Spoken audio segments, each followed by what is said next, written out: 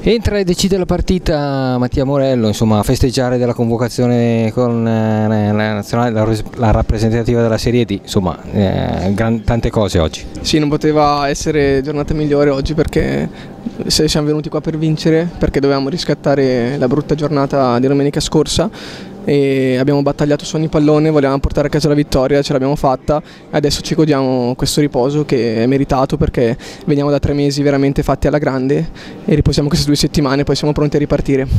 La, insomma è stata una partita molto poco giocata ma molto battagliata. Sì, sicuramente, anche perché il campo non aiutava e loro buttavano su la palla cercando di andare a prendere le seconde palle, però devo dire che noi abbiamo battagliato più di loro, siamo stati sempre in partita, concentrati e alla fine abbiamo portato a casa questi tre punti che erano davvero fondamentali per noi. È stata questa la qualità migliore oggi del Pergo? Insomma. Assolutamente sì quindi una vittoria che consente di tenere a bada il Modena vincente, insomma continua il duello.